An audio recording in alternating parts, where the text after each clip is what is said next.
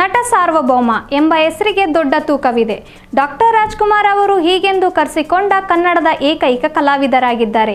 ಈಗ ಇದೇ ನಟ ಸಾರ್ವಭೌಮ ಶೀರ್ಷಿಕೆಯಲ್ಲಿ ಸಿದ್ಧವಾಗ್ತಿದೆ ಪುನೀತ್ ರಾಜ್ಕುಮಾರ್ ಅವರ ಸಿನಿಮಾ.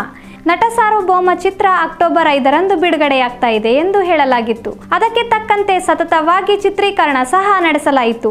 ಈ ಮಧ್ಯೆ ನಿರ್ದೇಶಕ ಪವನ್ ಒಡೆಯರ್ ಮದುವೆಗೆ ಬ್ರೇಕ್ ತೆಗೆದುಕೊಂಡ ಕಾರಣ ಚಿತ್ರೀಕರಣಕ್ಕೆ ಬಿಡುವು ಕೊಡಲಾಯಿತು. ಇನ್ನು ಇಪ್ಪತ್ತಕ್ಕೂ ಹೆಚ್ಚು ದಿನಗಳ ಕಾಲ ಚಿತ್ರೀಕರಣ ಬಾಕಿ ಇದ್ದು ಸೆಪ್ಟೆಂಬರ್ ಹದಿನೆಂಟರಿಂದ ಮತ್ತೆ ಚಿತ್ರೀಕರಣ ಪ್ರಾರಂಭವಾಗಲಿದೆ.